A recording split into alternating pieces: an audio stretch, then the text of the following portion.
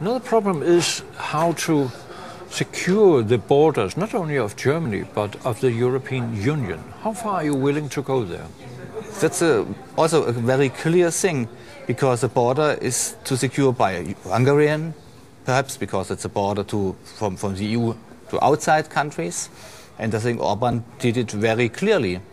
And sometimes I think in Germany we can say, okay, Orban did it, and not to did the work, so to speak. Did, did the work for for, for Europe, mm-hmm. and we can't perhaps. Um, I think it's it's not good if we discussed too much about it, what he he do and what he did there, because we have to say he did what he have to do, and he do what he have to do, and we have to help him a little bit, but we have also to say perhaps not too hard, but clear.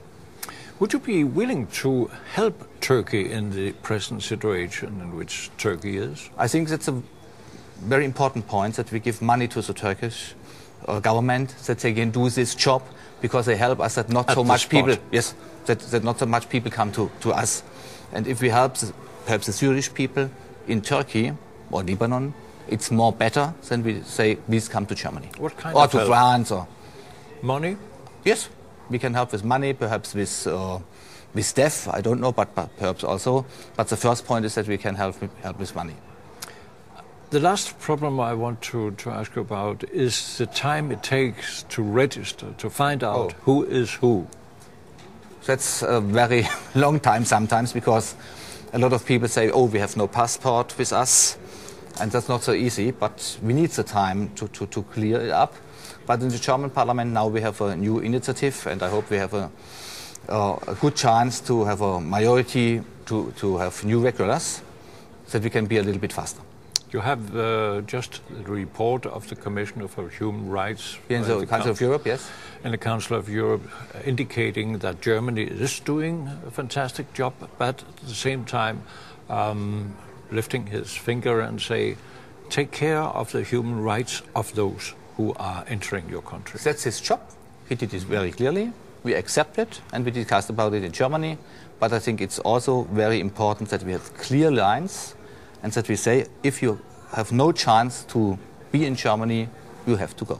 Have you told the Serbian Prime Minister, who's just speaking now in the hemicycle, He- he- that he- we have the discussion now, so actually exactly discussed with the colleagues. That So he I, heard should- only the, I heard only the, the start of his speech, but I think what he said is right.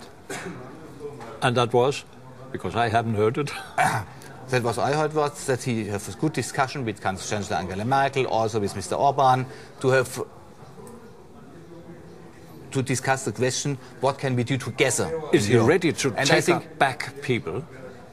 Because that's an uh, uh, I think important he, point. he said here. it not so clearly. I, I I hoped.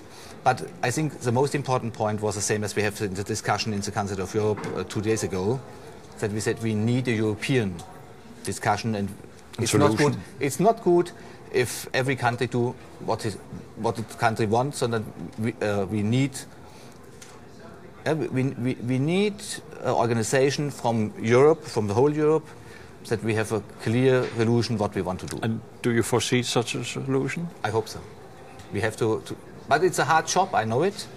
We have now the discussion, but I hope we can have it at the end.